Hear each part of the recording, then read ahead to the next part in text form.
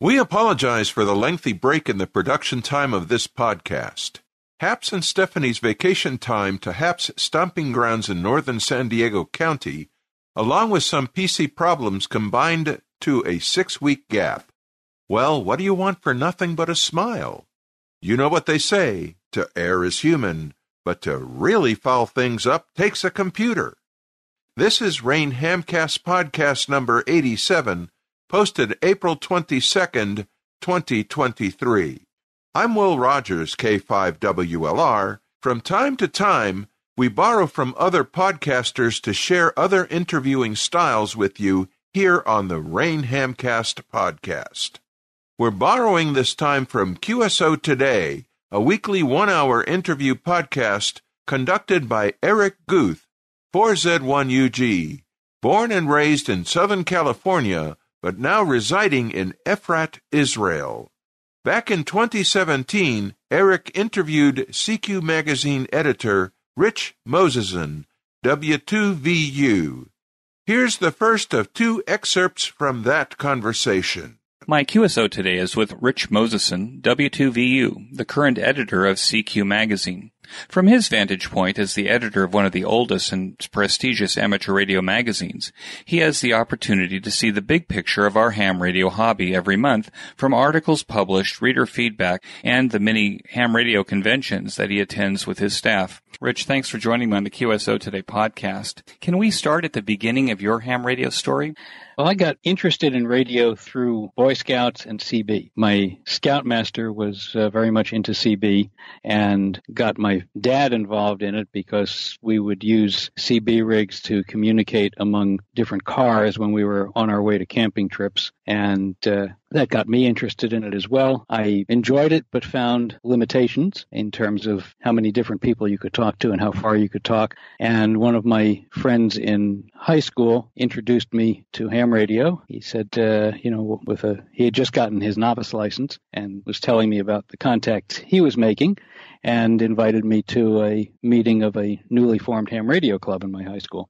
I distinctly remember the first meeting that I went to. One of the other kids had brought in a shortwave receiver. The club didn't have a station at the time. And we were up in a second floor classroom and he threw a piece of wire out the window and turned it on. And the first station we tuned in was Radio Tirana in Albania. This was 1969, 70 and and Albania at the time was like North Korea today, very insular, cut off from the rest of the world in terms of communication. And here I was standing in a classroom listening to a radio station from Albania and, and hearing their perspective on world events. It just fascinated me and I was completely hooked. and have been ever since.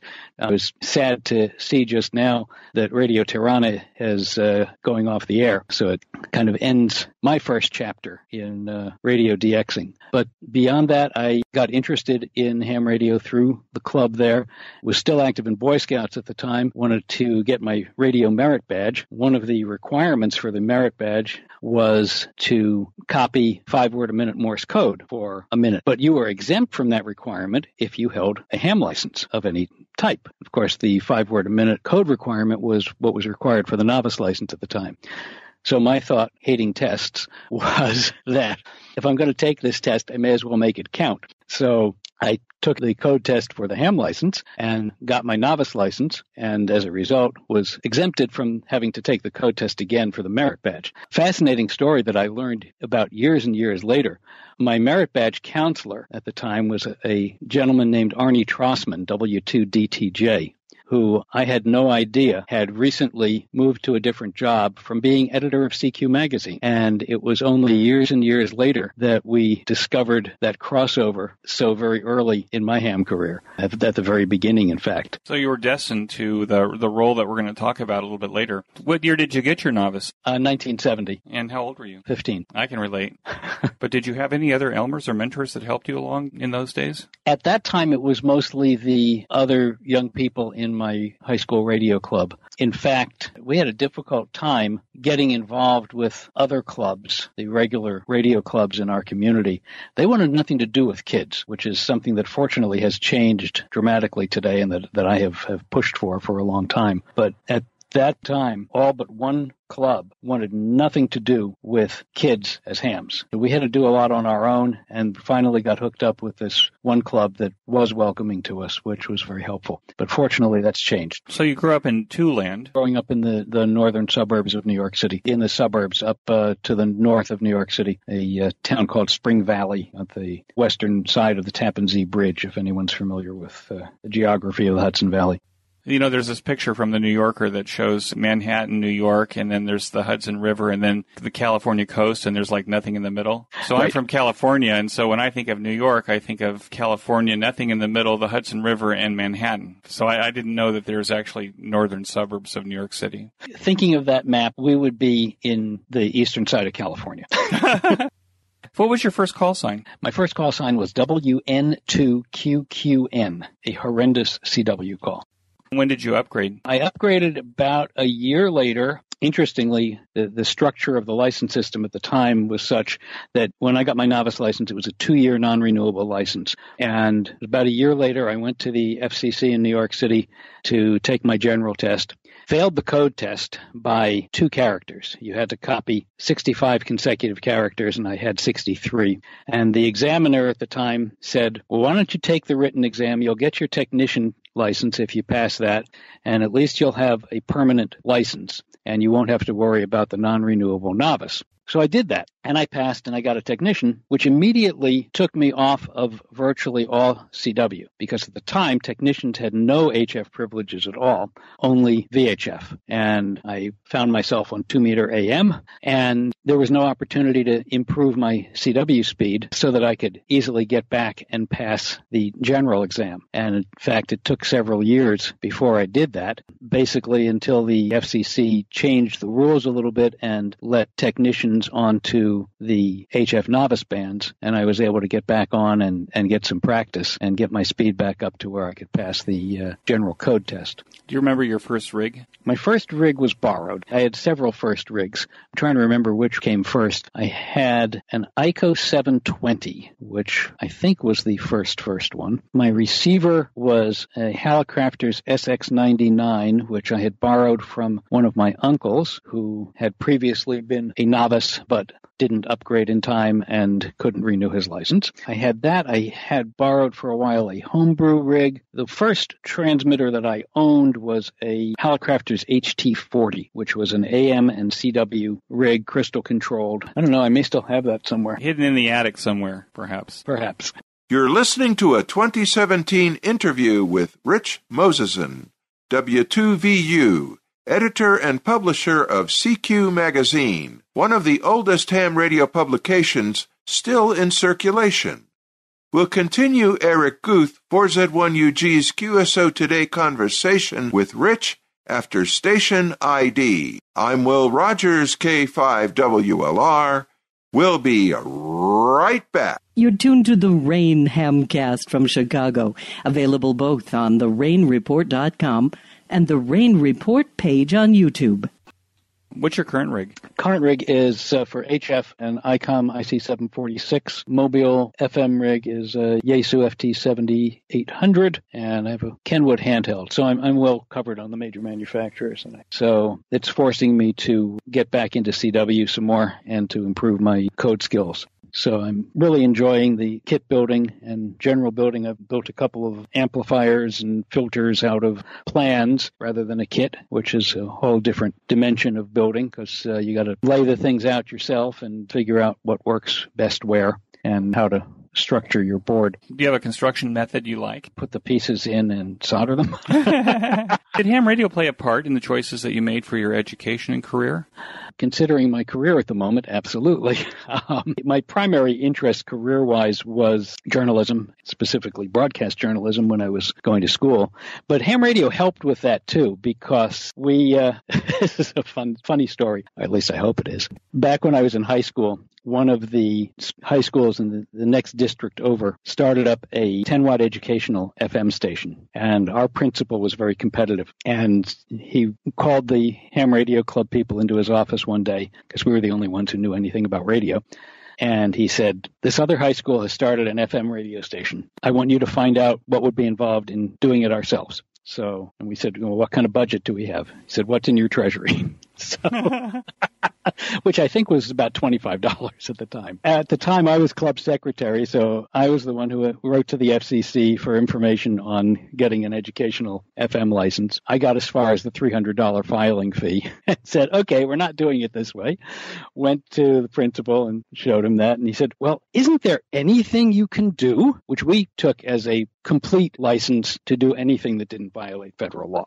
We essentially put together a fake radio station. We got together and somebody had given us these two old airport transmitters that didn't work. We hollowed them out, wired up the lights and meters, put an audio amplifier in the back of it, liberated a turntable from someplace, and created this fake radio station that broadcast to two speakers in the ceiling, one in our radio room and one in the hall next to our radio room. We told people it was at 108.1 on the FM dial, which of course is outside the FM band. We said that was the experimental portion of the FM band where the FCC has you operate while they decide whether to give you a permanent license. That's why you can't hear us in your car radio because the first thing that the manufacturers cut out for economy is those frequencies above the, the top of the band you might be able to hear us at home, but we're only on during the school day. And if you know, you can try it when you're home, but it was great for getting out of class. My school started up a community internship program in my junior year. And one of the internships was with one of our local AM broadcast stations. And I was one of about 25 or 30 people who applied for that. And I was the one who got it. And the teacher who was organizing the program later said to me, you know, that there was a lot of competition for it, but I gave it to you because of your involvement in the school radio station. I never ever had the heart to tell her. So my entire career is built on a hoax, which is logical. Well, we won't tell anybody, Rich. yeah, keep it a secret. Did you get a, a broadcast journalism degree from one of the local uh, universities? I did get a broadcast journalism and political science degree from American University in Washington, D.C. Went to work in broadcast field for quite a while, radio and uh, wire service, writing for the Associated Press National Broadcast Wire, then spent over a decade at CBS News doing a variety of public affairs type programs. You're the editor of CQ Magazine. Can you give a brief history of CQ Magazine and how you came to be its editor? Well, CQ goes back to 1945. As the original publisher told the story, I talked to him for our 50th anniversary edition, which shows about how long I've been there. During World War II, QST was still publishing, I believe, and it was the only ham radio magazine out there. And the FCC chairman at the time didn't feel that it should be the only voice for amateur radio because he was anticipating hams coming back on the air when the war ended. And the gentleman who was became CQ's first publisher was publishing other magazines, had purchased a magazine from the West Coast called Radio, which morphed into Audio Magazine and then into CQ. And the way he tells it, he was approached by the FCC chairman who asked him, since this magazine had covered ham radio in the past, but had shifted over to more of an audio focus, if he would consider publishing a ham radio magazine since he didn't feel that QST should be the only voice for ham radio in the magazine world. And at the time, there was paper rationing because of the war. He told the FCC chairman, well, if you can get me the paper for it, I'll publish the magazine. And the FCC chairman said, consider it done. So he somehow got him the paper. We started publishing CQ in January 1945. Kept going every month ever since and plan to continue doing that for as long as we possibly can. Has the magazine changed or morphed over time, or does it still pursue the same areas of interest that it had from the very beginning? Yes and no. The original goal of the magazine, its original purpose, was to have an ongoing conversation in print with its readers and to focus on practical, useful projects and articles and to share the fun and excitement of ham radio. That has not changed. We have stayed true to that goal over the past 73 years. What has changed, of course, is the content because we change with the hobby. Back in the 40s and 50s, the topics were CW and AM and a lot of military surplus stuff and how to convert surplus radios onto the ham bands. There was no digital at the time. Uh, we, we helped promote radio teletype or RTTY back in the 60s when it came on the scene. We've basically been in the forefront of a lot of new technology over the decades. The amateur satellite program got its start from an offhand comment in a column in CQ. We've early promoters of packet radio, various digital modes, a medium frequency and low frequency column to be able to help people get onto these new bands. So we've always tried to stay in, in, the forefront of technology and to help people practically get using them and get the most out of them. In fact, my association with began with Packet Radio. I felt the magazine wasn't doing its job. I had worked with CQ publisher Dick Ross, K2MGA, back when I was still at CBS, putting together the Archie ham radio comic book that some people may remember. I was getting into Packet at the time. This was the early to mid 80s, I guess. I had gotten my TNC and got it hooked up and could not make any contact, was just pulling my hair out. All the magazine articles were on the technical side of things and how it worked. CQ had its annual RTTY special at the time and big splash on the cover, including packet radio. And I'm going, oh, great. I'm going to figure out how to work this thing finally. And found the packet article in there, and it was more about how it works, not how to work it. So I called up Dick Ross and said I was very disappointed in this issue. He said, why? I said, well, you know, I'm having a problem with, with packet, and I know how it works. Everybody's told me how it works. Why haven't you told us how to work it? He said, because you haven't written it yet. I said, but I don't know. I need the help. He said, you find out and tell the rest of us. I did. that was my first article in CQ was a two-part piece on how to operate Packet and make successful contacts with it. It was the first article in any major ham magazine on how to actually use this mode. So that focus on practicality has been one of my focal points as long as I've been associated with the magazine, but it's been part of the magazine's focus since its beginning. Were you involved in TAPR? I was a member of it. I was not involved in its leadership or, or anything at that point, but I was definitely a member, and I have a somewhere on an old monitor here a TAPR sticker that says poop with a slash through it. That stood for poor operating on packet. No poor operating on packet. This concludes our first of two excerpts from a QSO Today podcast featuring CQ Magazine longtime editor Rich Moseson W2VU. Podcaster Eric Guth, 4Z1UG, spoke with Rich for an hour during his QSO Today podcast in 2017.